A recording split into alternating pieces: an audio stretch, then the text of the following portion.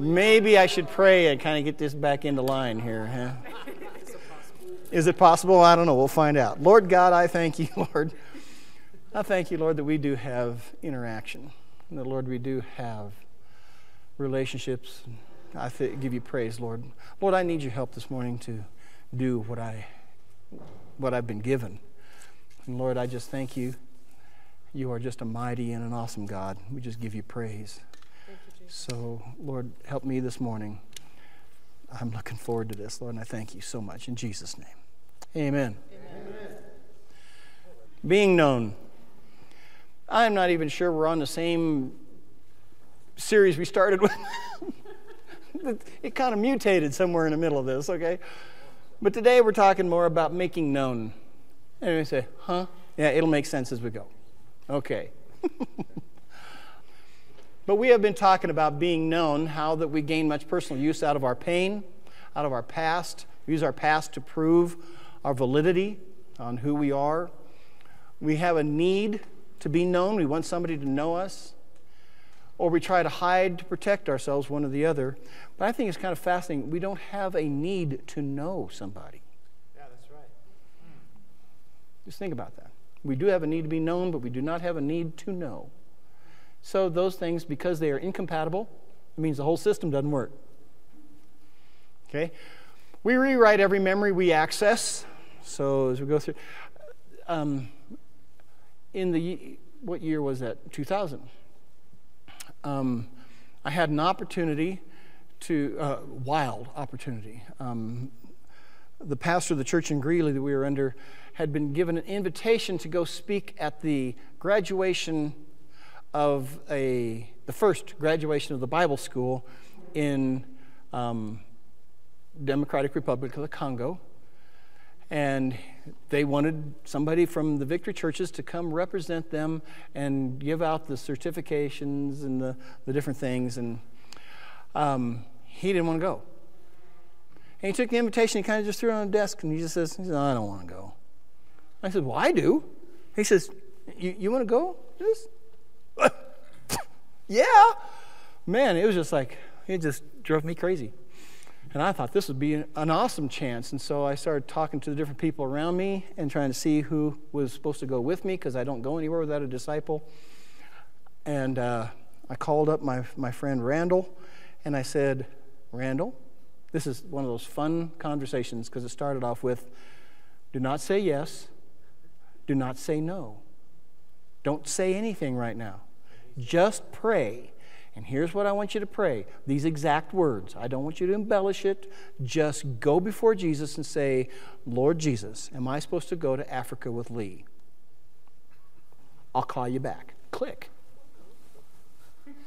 This has always driven him crazy because I've started that conversation like that several times since then. He'll, hello, don't say yes. Oh, no, don't say no. Oh, man, we. we went to um, the Democratic Republic of the Congo and had an, a most amazing time of two weeks. We were there, it was a two week trip. Unbelievable. Well, I'd done a journal and I wrote down what had happened. And I found it, okay, in this thing they call a desk down on my and anyway, I found it inside all that. So I've been reading it. Was I there? all of a sudden, I'm reading all this stuff. The way it happened, the way I wrote it down, is not the way I remember it. I'm looking at it going, oh, yeah, this is the way it worked.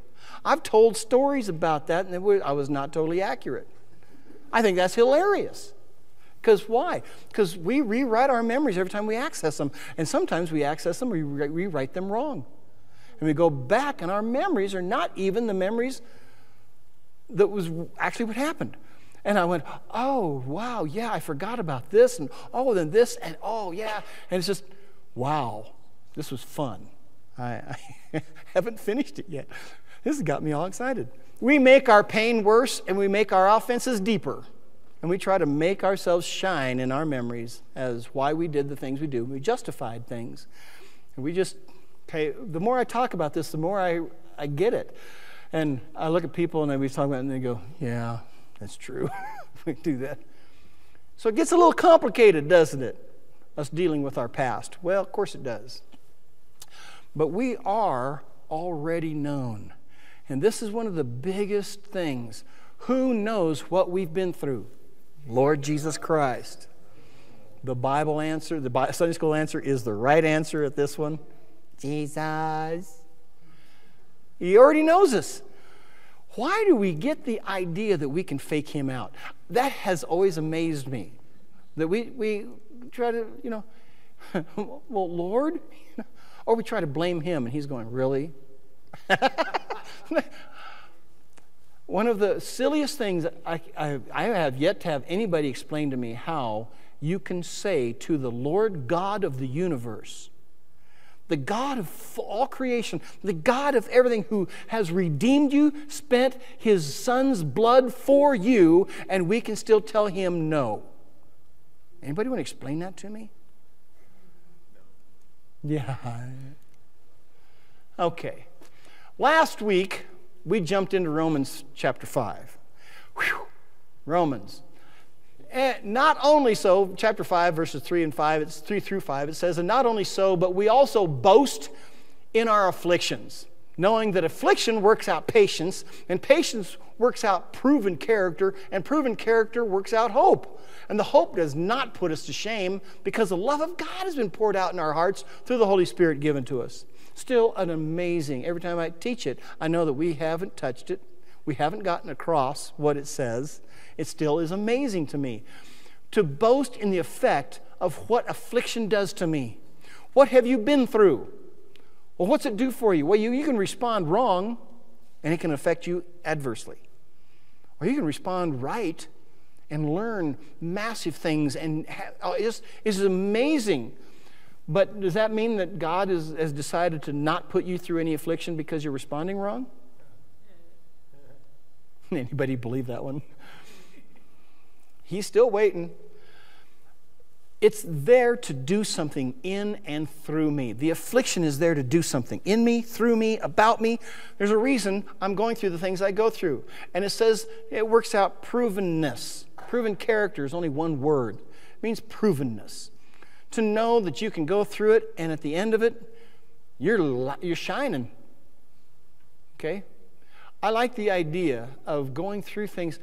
Um, I know when I've worked out in the cutting wood, doing different things, the smell of the cutting of the wood lingers on me.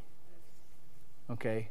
I like that. Okay, you just, that sm- cut, fresh cut wood smell. I like that. I like that very much. And it just, it's, it's neat. How does my wife know when I've been out cutting wood? She can smell it on me, okay? Uh, how does she know when I'm doing other kinds of work? She can smell that too, but it's not exactly the same thing.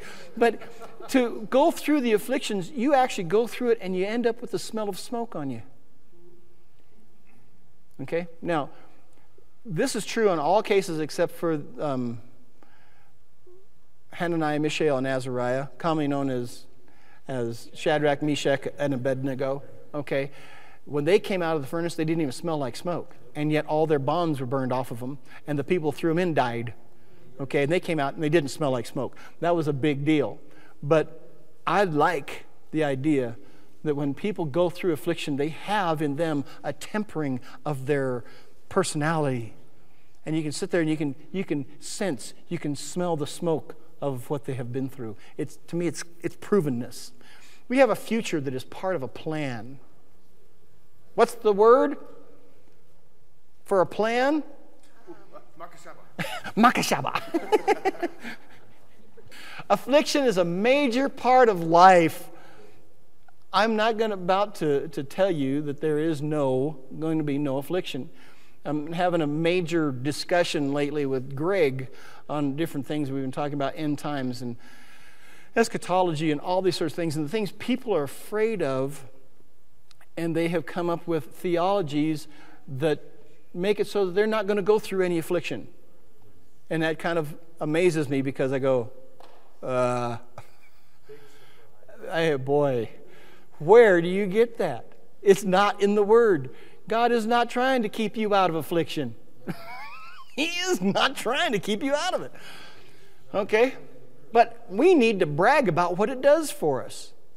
What has it done for us? Okay? It's kind of an amazing deal. Very, very strong. We've gotten to James chapter 1. My brothers, count it all joy. Yay! When you fall into various trials, knowing that the proving of your faith works patience. But let patience have its perfective work, that you may be perfect and complete, lacking nothing. Joy because of what it produces in us. Its, its work is to mature you. That's the it's perfective work. It's work that's to grow you up, mature and complete, so that you're complete, not lacking in anything, lacking nothing in your identity in Christ. John 16, 33. I have spoken these things to you that you may have peace in me. Wow. You have distress in the world. Be encouraged. I've overcome the world. In this world, you have distress. What's the Greek word? Come on, somebody. Thlipsis. Oh, Jim wins the day. Jim gets a star on the day. No. In you have distress, you have thlipsis, you have pressure, you have things that are going to happen to you in this world. But take heart. Be actually encouraged. The Greek word for that, have courage to actually get courage to go through. Be encouraged. May this produce in you courage. Should we have courage? Because I've overcome the world. Why are you freaking out? I've overcome the world. Yay. This is awesome. There will always be affliction or tribulation. Always. The only place for victory, though, is in Him.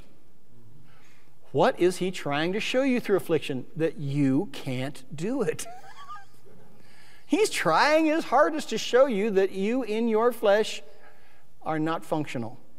You are not enough. You cannot do it. So, therefore, what do you have to do? Oh, you mean trust God? Now, there's a concept whose time has come. Cursed is the man who trusts in man and makes flesh his strength and turns his heart away from Jehovah. Blessed is the man who trusts in Jehovah, and Jehovah is his refuge. Jesus overcame, and so must we, because you're not an overcomer until you've overcome. That's right. You got to overcome something to become an overcomer. Oh, I love these sentences. These are fun sentences. These are good sentences. what have you overcome? Well, if you haven't overcome anything, look at the letters to the churches in Revelation chapter 3 and 4. Uh, 2 and 3. Yeah, 2 and 3. And what does it say? At the end of every one of the letters, it says, To the overcomer I will. All the promises to the letters of the churches are only to overcomers. That's right. Okay. We can revel in the experiences that we have had because of the changes that He is making in us. We can revel in the fact of what we've been through. What have you been through? It's amazing if you will just listen to what Jesus is doing in you. He put you through some really rough stuff. Instead of complaining about it, find out that what did He do? He changed you to become more powerful. Now, I can take anybody in this room, I don't care who you are, anybody in this room, I'd take you right over to my workout room, right over in the Redemption building, and I bet I can, I don't care who you are, I bet there's some muscle I can make sore in you somehow. Some of you, it's not going to be hard. Nathaniel went up to Jared and Tiff's. Nathaniel and Kate went up there and spent time with them. Well, they've got this Caleb and Abby animals up there. And they played, didn't they play? An eight year old and a six year old beat this man up. I'm hurting. They did all the moving video game stuff. And uh, why do we get sore? Because we're stressing muscles and we're releasing uh, lactic acid and all sorts of building all this stuff in our muscles. It takes stress to build strength. Takes stress to build strength. And how do you want to build strength? You actually get something that's heavy and try to lift it, okay? And the more times you lift it and the more you do, then the stronger you'll become. It's, it's simple. We've seen this process in so many ways. How do you get strong? You stress your muscles. How do you get strong in your soul? You get stressed in your soul and how you respond correctly to it. Now, I have seen too many people on job sites lifting incorrectly and they'll go to do something and all of a sudden they go, eh, and they pull a muscle and they damage themselves. That's stress that they didn't respond to correctly. They didn't do it right. Okay? Are we relating to this? We've gone through things in our life and it's hurt us. Why? Because we didn't respond to it correctly. We didn't see how. But when you start responding to it correctly, what does it do? Those stressors make you strong. They don't make you crazy. Yeah. That's when you respond to it correctly. Mm-hmm. It doesn't make you nutso. Okay? Don't languish in the problems. Languish, that's a good word. You like that word. See, my little wordsmith friend here, we like these words. Languish, to be in it and just blah, let it rot you. Mm-hmm. Yeah. And that's the problem is we've let we've gone through these experiences and we let them cause a rottenness in our soul. We've let them hurt us. Don't languish in the pain, respond to it. See what is making you become. See what God is doing to bring you up okay? It should bring about joy. Now, I have several of you, I do know major parts of your lifestyle, major parts of what you've talked about. I've, I've heard things of your past and things you've gone through. Was it fun? Oh, no, I didn't say it was fun. Was it even godly? No, no. But what was it? It was something for you to respond to. And as you are growing in Him, you can look back and see how it's made you strong in many different areas. Okay? That's just a good idea. It should bring about joy. God is developing His character in you. What's well, a good thing? For you not to be attached to this world. Attached to this world. What's He trying to do? He's trying His hardest to get you away from the things that are killing you. It has been hard in my office to explain to people what conviction is. People think conviction is bad. No, conviction is awesome. Conviction is wonderful. People say, oh, that's what's bad. No, it's an area where God is saying, this thing in your life is killing you and I love you too much to let that continue. So I'm going to convict you about that and say, get rid of this. It's killing you. And you say, well, why doesn't God just take it away? No, because He gave you free will. You let it into your life. Now you're the one that has to get rid of it. Simple. This is very simple. This is 101. He convicts you to get rid of it. Simple. It's simple. We've got to know that that's what God is doing. He's trying to help us. To be a witness of His goodness through it all. That's the idea. That's the whole idea. To become who you really are, you can rest in that. Oh, no, this is really good because you can have rest for your souls. We'd gone over that the week before. And how, what we're doing things His path, what happens when we do His way? His way brings rest to our souls. Wow, what a concept. I can sit in the situation and go, Well, thank you, Lord. How do you want to respond to this? And have peace even when everybody around is having turmoil. It's okay to be the only person in the room that has peace. It's okay. Everybody else is running around and, ah! and you're the, hey, calm. It's okay to have peace.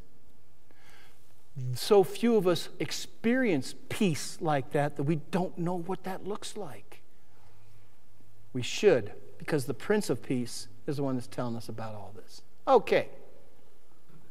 That was review. We jumpeth. Offeth the cliffeth. Here we goeth. we all have a story to tell. Boy, do we. We have been through a lot. Oh man, have we been through it? We've been through stuff. Why have you gone through it? So that God can get the glory. What? Our pain seems to be important to us. it Really does. We want others to acknowledge how we have suffered. We want others to acknowledge that. Okay? What's really sad is it doesn't really help. Okay? To what end? To what end do you want people to know about your pain? Would it help to hear, have somebody know what you've been through? Because every time you've told somebody, how come you had to tell it again? If it helped, you wouldn't have had to tell it again. It didn't help. How many times have you told your story? Now, this has been fascinating for me to watch this over the years. Have people come in and they will tell their story and they have rehearsed it 20, 30, 40, 50 times they've told this story. And then they come in and they give it to me, and I stop them in the middle and go, well, wait, wait, what about this? What about? Well, don't stop me. I haven't finished my narrative. Did it help to do it the 49 times before? Let's stop this thing and listen for a second. Where was Jesus in any of this? Uh, what? Jesus is redeeming this need. And this is the thing that has been fascinating to me that I've been learning lately is that Jesus is redeeming this need to tell our story. I have found I can tell him my story. Amen. This is kind of very interesting because when I go to tell him my story, he laughs through most of it. Why? Because all he's seeing is his fingerprints. He's seeing how I've responded really silly. and actually, a couple times he said, So, have you learned? well, maybe, Lord, maybe you need to show me what I'm supposed to have learned, and I'll tell you if I learned it or not. hmm. Why is the Lord laughing at my pain? He's not. He's laughing at my response to it. Okay? Why have you suffered, really? There's got to be a reason that we may know Him in the midst of it all, that we may know Him right there in the middle of it, even in our past. Now, this has been fascinating for me because people say, well, I had all this stuff happen in my life, and then I got born again when I was 35. What about all this other stuff? so here we are, and we say, Well, Lord, would you take them back to when this certain thing, when they gave themselves up to fear? Would you take them back? They go back way before they got born again, and they gave themselves up to fear back then. And the Lord walks into their past and tells them stuff, and we get to bless them in their past. What do we get to do? We get to time travel in the soul, go back into the past, and watch it be redeemed. Come on, that's awesome! It just boggles my mind. And when I first figured out that we are actually doing soulish time travel, it kind of I, yeah, fried a brain. I started tripping breakers. huh? What? I, we can do that? Yeah, we can't go back physically and change the event, but we can go back soulishly and affect the pain. Get rid of the lie that was received and get that thing. And then the blessing that was not there at the time, I can insert now and find that the blessing I inserted in the past is affecting my present. God, this is awesome. This is double time stream stuff. This is changing. Exactly. And it's, it's why, why are we feel like we're limited? But here's the problem.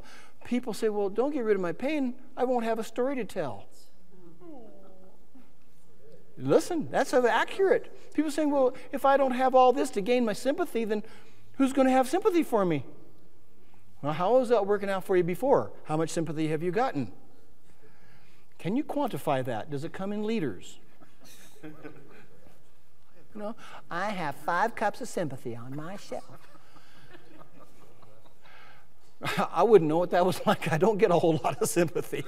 I wonder why not. All right, even in our past. Okay, which brings us to Revelations. What? What? Ah! Chapter 12. No. Revelation chapter 12. I love this. And I am not going up in the first part of the chapter. I'm not doing all that other stuff. No, I'm going to start in verse 10. You guys are just, there should be a public flogging. okay? Verse 10, it says, And I heard a great voice saying in heaven, Now has come the salvation and power of the kingdom of our God and the authority of his Christ, because the accuser of our brethren is cast down, the one accusing them before our God day and night. And they overcame him because of the blood of the Lamb and because of the word of their testimony, and they did not love their souls even unto death. This is one of my very favorite passages because it says he, they overcame him. Now, there is one person that needs to be overcome in everybody's life right here today. The right crowd came, and I'm not even going to ask you if the right crowd came. I'm going to tell you that the right crowd came. Anybody here ever be accused of anything? Anybody here ever be affected by the accuser of the brethren? Anybody here feel like you feel like I'm just a failure, I'm not worth anything, I'm not good enough, I can't do it, I'm not well trained. Any of those sentences that come to mind anywhere in the past, that's all lies from the accuser of the brethren. So the right crowd came. It tells us in the scripture how to overcome him.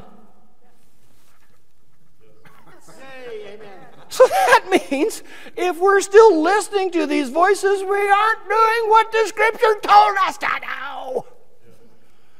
When he gives us the tools and says, Here, here's how you defeat him. And we sit there and go, Okay, got him. And then just keep, okay, well, use the tools. Go beat him up. Get rid of the accuser of the brethren. Yes. Can I tell him that a little bit? We were going to the court of heaven with Carolyn, okay? And the accusers over there just screaming stuff. And we're standing before the throne of God. And she's standing there, and this accuser's over there just screaming. And she just, she says, Lord, can we stop him? so you tell it. Oh, he put his own hand over his own mouth. God says, Can we shut him up? And all of a sudden the accuser goes,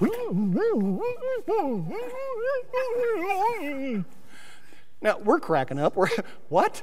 we're having a very good time before the throne of God as the accuser of the brethren has no voice left because his own hand is covering his own mouth and he can't be heard.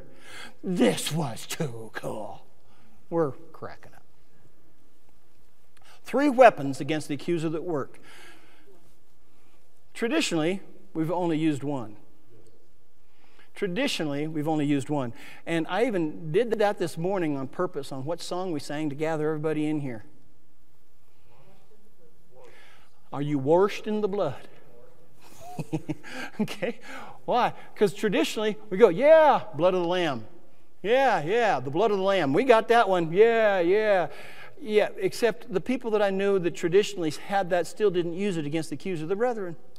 They didn't really understand what happened with the blood of the Lamb. Wow, this is major. I have been redeemed. The blood, He bought me and He owns me. I am a blood bought child of the King. I have been purchased by Him. Really? We don't act like it. We keep acting like we own ourselves. We keep acting like we're the ones in charge. This is, this is crazy. We have been purchased by Him, and yet He's the last one we consult about what to do. It's not just that He purchased us, He entered into blood covenant with us. How much power and authority do we have? Oh, way more than we know. Way more than we know. Amazing. We are in blood covenant with Jesus. In Christ, we're in blood covenant with the Father. Who do we have blood covenant with? The Godhead. Are you kidding me? And we're still defeated? And in the middle of this, here I am, bought by. How do you know something is valuable? By how much somebody will pay for it. Okay? And we found this to be true around here as we've tried to sell different things. We've looked at things and said, this is valuable. This is going to bring us a lot of money. And people come, I'll give you 20 bucks for it. Really? it's worth about 20 bucks. Why is it only worth 20 bucks? Because that's what anybody will pay for it. That's all that anybody will pay for it. If you can't get any more out of it than that, then what's it worth? 20 bucks. So if you're looking at an item and you're holding a diamond in your hand and it's worth $100,000 because somebody will pay $100,000 for it, is that a valuable diamond? Yes. It's more valuable than my car. Okay. Really? That's a lot of money. I mean, for those of you who $100,000 isn't very much, I'm, I'm sure I'm not, you know, anybody here like that? Except for the deceived ones, okay? okay. No, that's a lot of money. Okay, that why? Because somebody will pay for that. So this last week, somebody auctioned off the first issue of Spider Man. A Spider Man issue, and he got, it was a 9.4 rating on how good it is. It was a 9.4. He got $465,000 for a comic book. Okay? The guy who sold one before him had a 9.7 rating, which means it's almost mint, and he got 1.2 million for a comic book. What's it worth? It's worth what somebody will pay for it. So you're looking at it go, now, let's talk about you again. You're sitting there going, I'm not worthy. I'm not this. I'm not this. Shut up. Enough already. How valuable are you? God spent the blood of his son to gain you. How valuable are you? You are worth the blood of Jesus Christ. You are worth so much. You are actually invaluable. There is no way of placing value. Priceless. And yet I keep hearing people go, I'm just, I'm just, oh. Quit. Just stop. the bloodline of authority. The bloodline of authority. I have, I have had demons talk back at me which not very often. not very often. Trust me on this. Not very often. Usually they just, okay, we're out. Okay? I've had them talk back. I'm going, really? You're talking back to me? I have the blood of Jesus Christ and you? Boy, just bring it up. They're gone. Eh, they don't even want to talk about it. You, you talked back to me? almost makes me twitch. Just, are you really? Oh, this is going to be fun. I'm going to enjoy this. You talk back to me. They, they oh, hmm, shouldn't have done that. What do I do when they talk back? I take them straight to Jesus. Because I go to the Lord and say, hey, Lord, you gave me authority over this guy and he's talking back to me. What do you want to do with him? Well, they don't show up anymore after that. You want to mess with me? I've got the bloodline of authority. the Lamb who was slain, the blood of the Lamb. He's on the throne where? In the right of the Father. On the throne, in the right of the Father. You can't separate them, Father, Son, Holy. You, can't say he does, Jesus doesn't have a separate throne. He doesn't have one a throne on the by the right of the Father. That's not what the words are in the Greek. It says Jesus is in the right of the Father. So when you look at the Father, Jesus is in his right. His Holy Spirit is in his left. I mean, they're, they're one.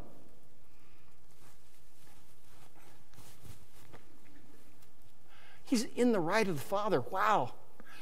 Do our lives show that we are blood bought? And yet we're still trying to do our own career choices.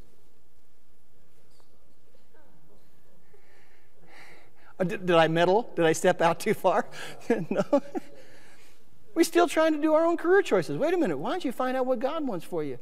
Because you are now no longer your own. You've been bought with a price. You are His. What does He want to do with you? Well, the Lord says He wants me to go do this, but I don't think that's going to be much fun. You're saying no to the God of the universe. Think about it. Amazing to me. Yeah, when you say no to the God of the universe, you got a lot of things to overcome. you don't need demons, you got your flesh. And it's just, I've seen the enemy and it is us, right? That truth helps overcome the accuser. Okay, well, that's only the blood of the Lamb. Are we using the blood of the Lamb to get rid of the accuser of the brethren? Okay, well, how about the word of our testimony? This is kind of where I'm heading today. This is a big deal. Why? How do I overcome the accuser of the brethren by the word of my testimony?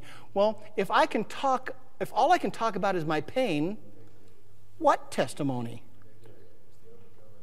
If all I can say is, God wasn't there for me, He didn't do this, He didn't do that, what is your testimony? Your testimony is that God is useless. That's what you communicate. In fact is, in Acts 1.8, I might bring this up again next week, but in Acts 1.8, which I wasn't supposed to talk about because of the rule of Roxanne, says, and we shall... There it goes, right out the window. and we shall be witnesses. Okay? After that, the powers come upon you, and you shall be my witnesses. You know what he doesn't say in there? That is one of the biggest things is finding out what God does not say. What he does not say is says, You will be my good witnesses. He said, You're going to be my witnesses, and you're going to witness to me, good, bad, indifferent, and you're going to tell people that God isn't worth anything, and you're going to tell people that God doesn't save, that God doesn't heal, that God doesn't deliver. That's what you're going to tell people. You're going to be my witnesses. Where is Jesus in all of this? Where is the testimony? When I focus on me, the accuser therefore has a foothold. When I'm focused all about me, what do I get? Well, but I was molested when I was young. Okay?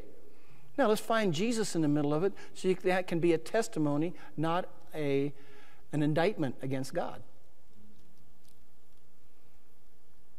Okay? Do I feel bad that you were molested when you were young? Yes.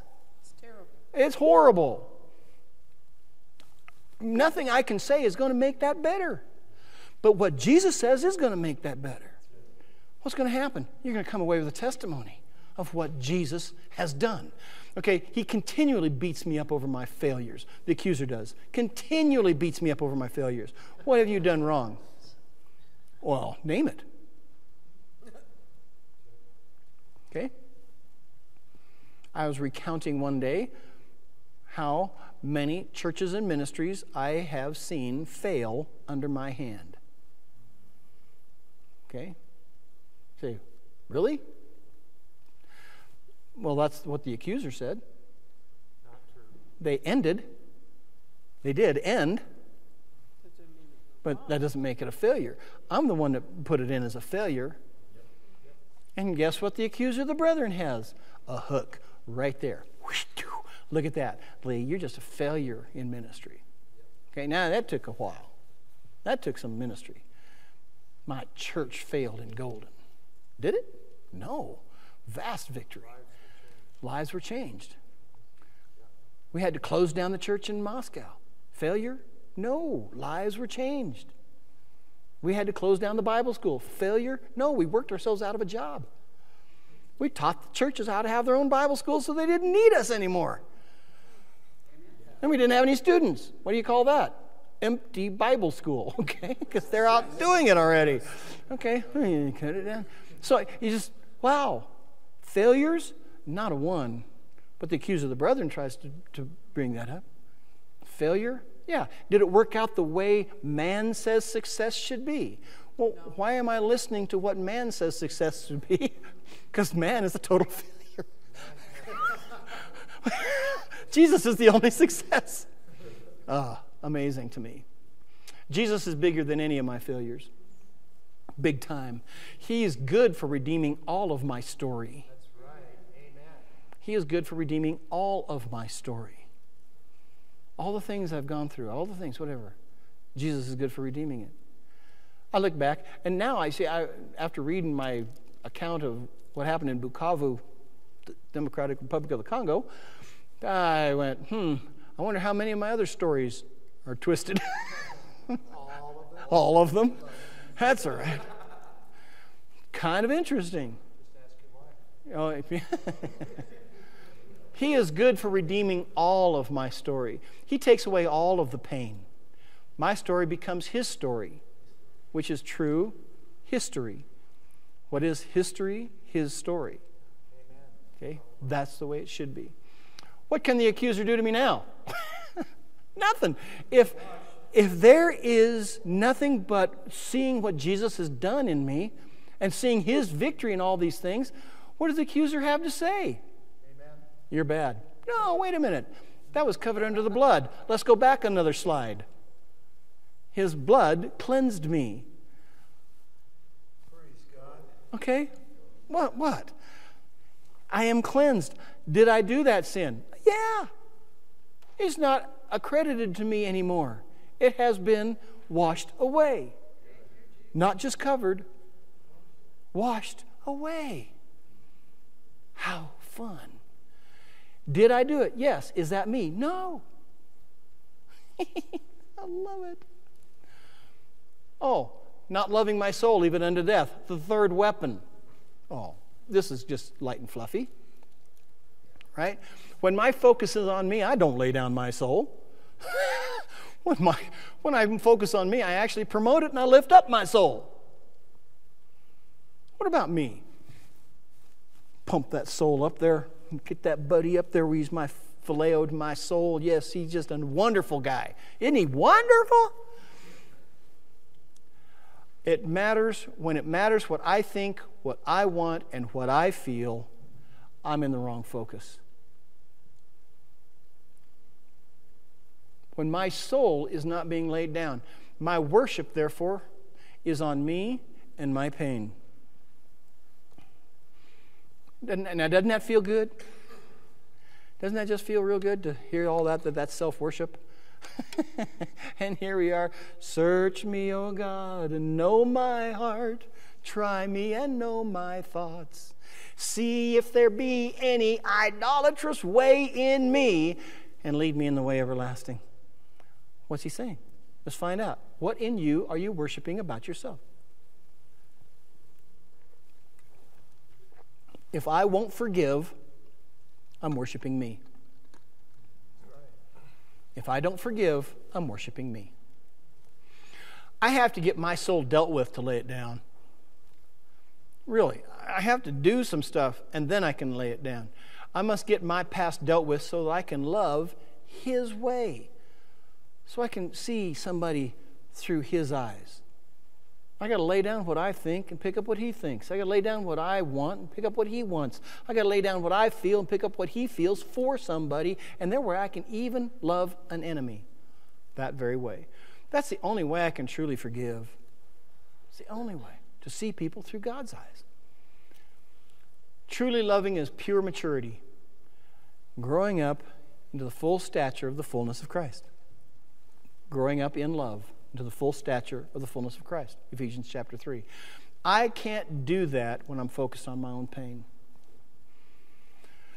So, this is kind of a fascinating. If I'm focused on me, the accuser of the brethren wins. If I'm not focused on me, when I get my stuff dealt with, I can actually use the blood of the Lamb and the word of my testimony and, the, and not lay down my soul. And the accuser of the brethren has no hold on He's thrown down. That right there should tell us everything. That should be absolute beauty. When the, ant, when the accuser has no voice in my life, well, then I'm pretty powerful. That's pretty slick. I must change to become who I really am because I haven't found out who I really am yet. I'm in the process of changing. There must be no anger to protect myself anymore. No anger to protect myself. I've got to not protect myself. I have to have no fear to, that would drive me down, drive me under. Fear drives you under, scares you, puts you down. Oh, no fear. Not when it's in Him. Able to perceive the big picture with me in it. Wait a minute. What's the big picture? God is doing something mighty on this planet. He wants to do something. He's getting ready. There's going to be something big showing up here not too far, far down our road. And what's going to happen?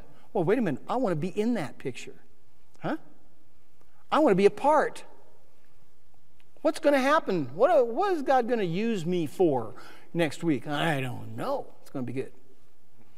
What's He going to use you for in a month? Huh? It's awesome.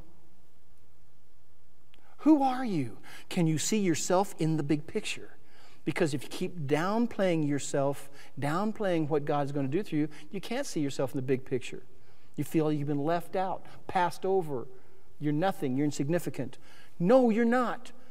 When you start getting rid of the accuser of the brethren, you can see yourself in that big picture and who God is going to use you to be. Wow, really big. Nothing to do with pride. I see me in the big picture. That's nothing to do with pride. That's true humility, submitting myself under the hand that God has. It's not about personal pride, it's about being humbled, being put down into the place where I can be used of God, and knowing that I am firm in that and no accusation.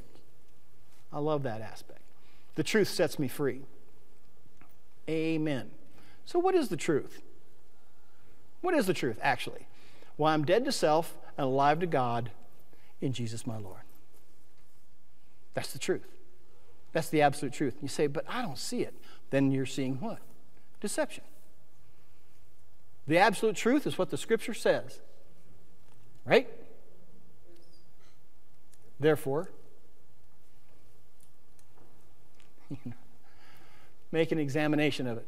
That's my testimony, and it sets me free. That is my testimony. That's the word of my testimony, is who God has made me be. I'm dead to self and alive to God. Now, I'm going to do this part really quickly because I, we don't need to dwell on it very strong. I just, I'm just trying to, to show you something that is fascinating. Here's Saul of Tarsus. Okay, he's out persecuting the, the church, the way.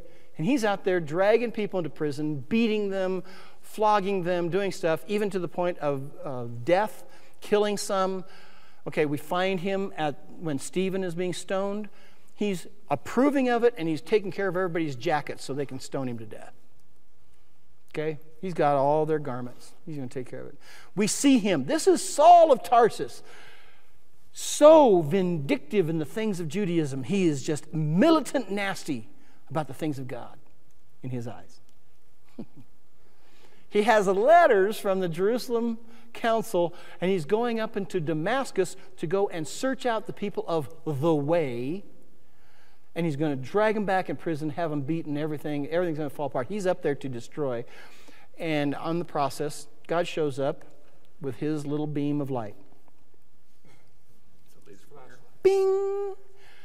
He falls down. His eyes go completely blind.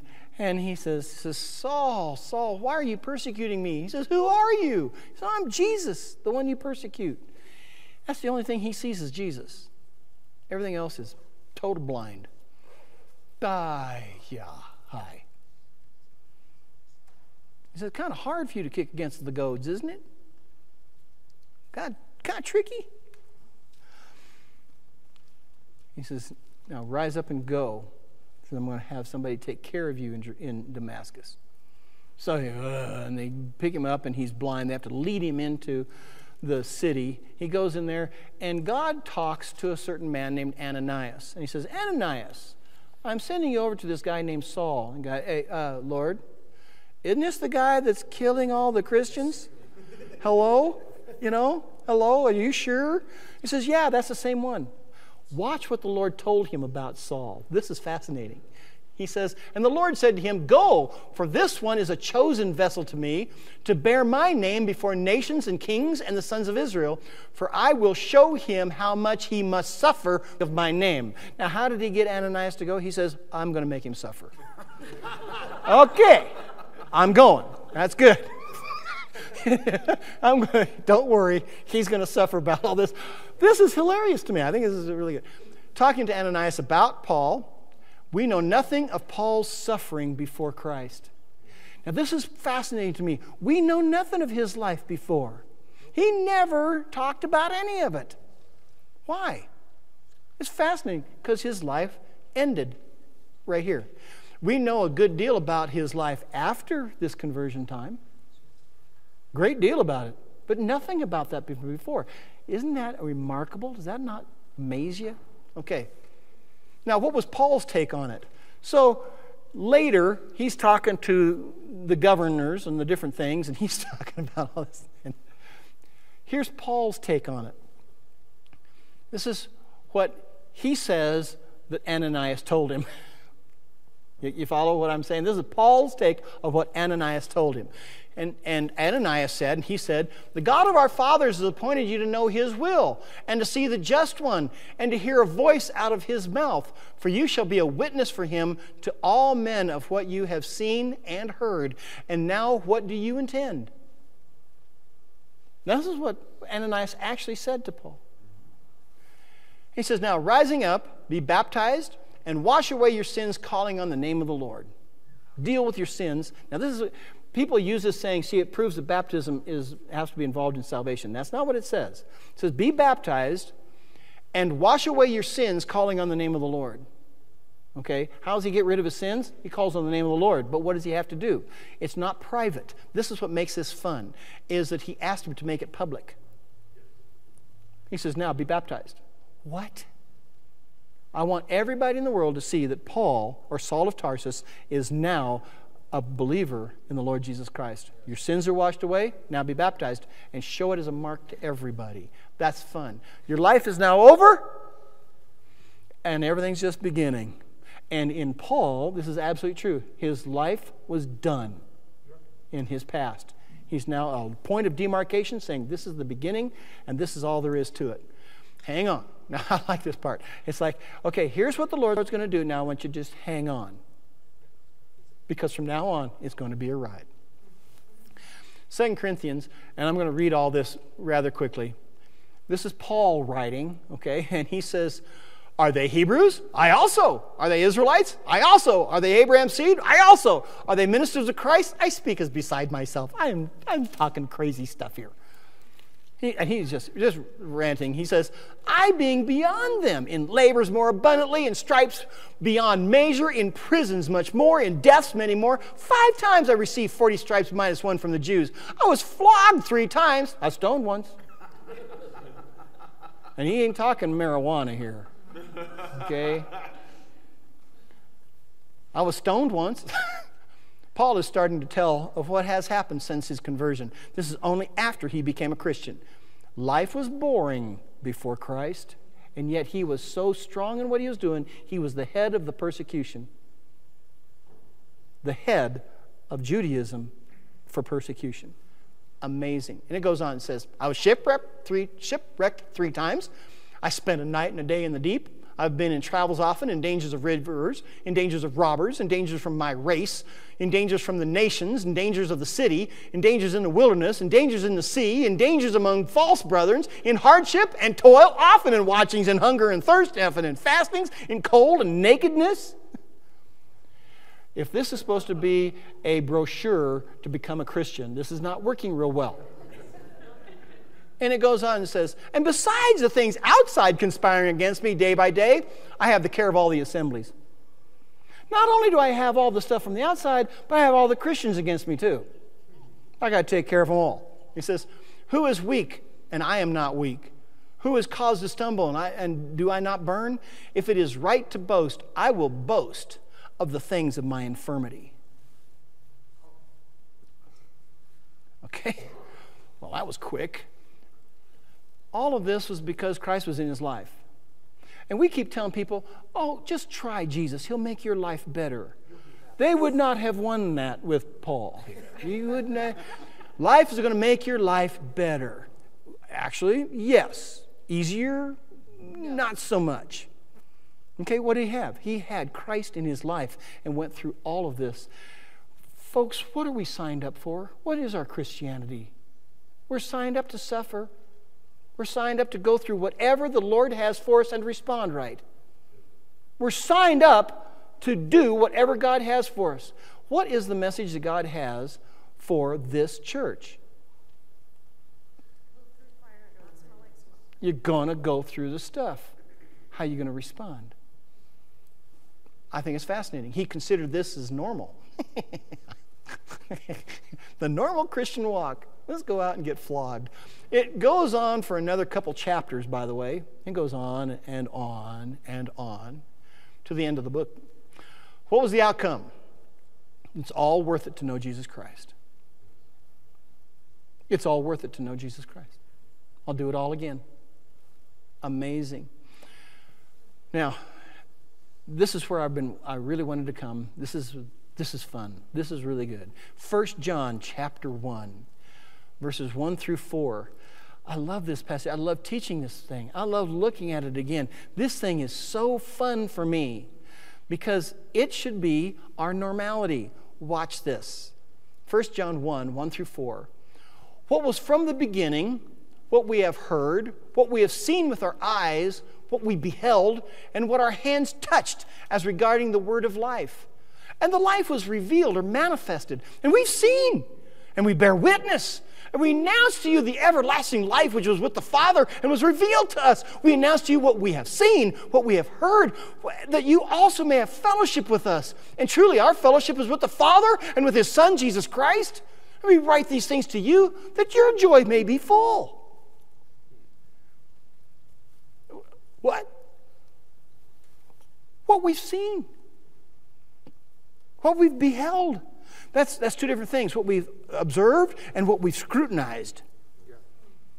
And what our hands have touched, manipulated, and worked concerning the word of life. Wow, this is powerful. What have you seen? Now, this is scary. Because are we seeing miracles every single day? Actually, yes. Are we seeing limbs being grown out and wheelchairs thrown away? Different parts of the world, different times? Yeah, still are. Are we seeing miracles? Yeah. On a regular basis. What have you seen? Well, what have you touched? See, it's not enough to have seen a miracle. Trust me on this one. I saw a miracle. I saw a recreative miracle 18 inches in front of my nose, I saw God recreate an arthritic elbow, take all the arthritis away, and recreate a brand new elbow in a lady's arm right in front of my face. I could hear it snap, pop, and creak, grind. it was weirding me out. I'm watching this. I didn't believe God did this in our time. You understand? God was messing with me. Oh, he does that very well. everybody's going, oh, poor Lee, God's messing with you. Yeah. I'm sitting here watching this, hearing this, and she couldn't bend her arm. She couldn't even bend it when she first started. And then pretty soon she's reaching up with that arm and wiping tears out of her eyes like this, with an arm she hasn't been able to bend in years. You'd think just even muscle memory she'd done it with the other arm. God just started working and she's in an ecstasy. She doesn't even know what's going on. She's just completely oblivious to it. We're all sitting there going, ah, freaking. No, yeah, I don't know if anybody else is. I am totally wigging out. It's not enough. It's, it is enough to have it done under your own hand. You see, so many people have a, a witness saying they've seen it happen, but it's not enough. What have you touched? What our hands have manipulated. We ought to be the people who are the ones who are bold enough to go out and lay hands on the people until we're seeing it, when not just seeing it, but feeling it. We're actually having it move. Okay? First, I mean, when first time, first guy we prayed for died. Took care of that. Okay? Uh, we tried everything. He just, hey, have we seen people healed? Oh, yeah. Well, it just, it's one thing to see it from somebody else, but to do it under your own hand makes you know that God is working. When you see it from somebody else does it, then you say, wow, they're a mighty man of God. That's one of the worst things that can happen is somebody tithe or they, they give a gift and they get back a hundredfold return and the check comes in the mail. One of the worst things that could possibly happen because everybody else in the church falls apart because they did it and they didn't get a hundredfold return. And then their faith just boom, dies. It's not enough to see it. You have to experience it. You have to put your own hands on it. You guys have had this experience. You've had healings happen underneath your hands, haven't you? Yeah, it's pretty exciting, huh? Yeah. What have you touched? What has God done through you?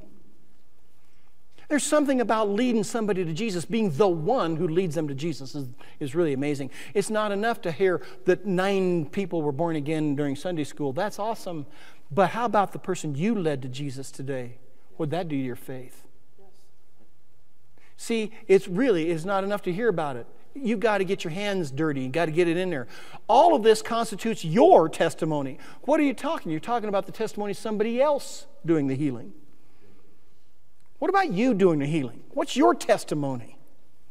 Okay, to go through your life and know, uh, you know, I've, like I said, I've known many of you in the things that God that has happened in your life, and you're coming up with a testimony of what God did in your life and how He's redeemed it, how He's made you who you are today, how He's changed things, how He's taken away the pain. Now, this is what? Your testimony. It isn't about somebody else's, it's about yours. Not what you, it's not what you have been through, it's what has been done through you. Okay? What are you using? What is your testimony? What is God saying to you? You lay hands on people, you watch the healings. What have you lived that shows Christ on this planet? What have you lived that shows what Christ is on? See, I'm trying to get the idea. Here's the deal the accuser of the brethren is trying to use you or damage you, and what? By the word of your testimony. But what happens if you don't have a testimony? What if you don't have something that shows? Well, how do you know that Christ is alive in you? How do you know that He is here on the planet? How do you know that He answers prayer? How do you know that He heals? What is your testimony? When the accuser of the brethren comes up and says, You're just not very much. Well, wait a minute. This hand is a hand that God can work through, and I can lay it on people, and healing can happen. How cool is that? I can lay it on people and watch them being baptized in the Holy Spirit. Hmm, I like that. Yeah, that little hand with the little spots and everything. It's cool. Okay. What has Jesus Christ helped you through? What has He done? That is what you have to brag about. Not because you did it, but because He did it through you. What do you have to brag about? That I am here and God is functional. And look at this. It's too cool. It's not your pain, but His grace through the pain that is valuable. How are you responding to what is happening? Most of our suffering has been because of our own flesh. no, no. We don't need to suffer for that. Did Jesus get any glory out of what's happening?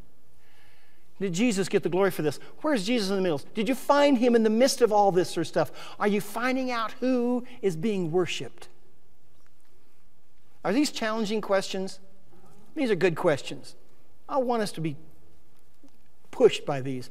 Are people looking forward to what you have to tell them about?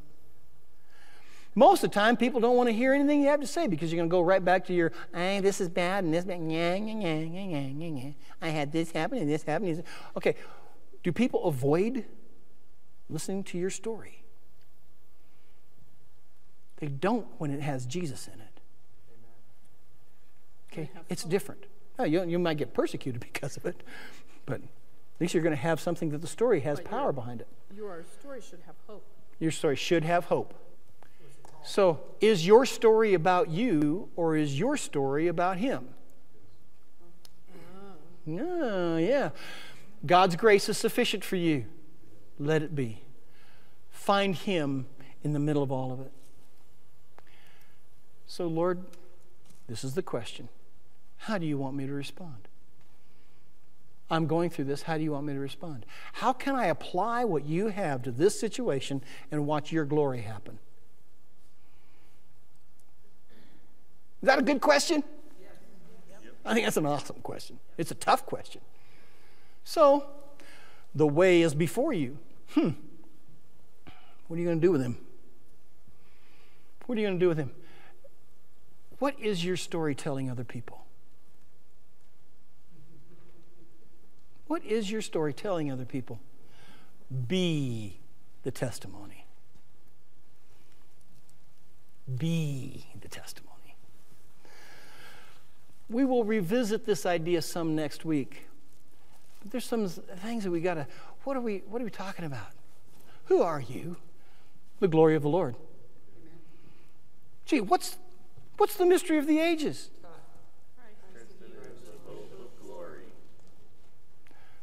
See, I should make you quote that a little bit different. Christ in me, the hope of glory. I want you to just not, this is not Christ in you, and you have that generic you out there thing, but Christ in me. The mystery of the ages is that Christ is living in me. Wow, how cool. Who are you? More than you know. Who are you? More valuable than you've let on. Even though your focus has been on you, it's been what? the wrong focus. Be on Him and find your true value. Hmm, interesting concept. Is this making us think? That's the idea. That's what we're looking for.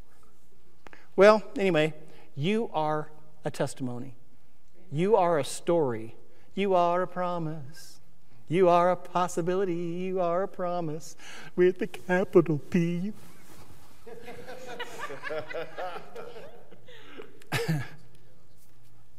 Let's pray. Father God, I thank you.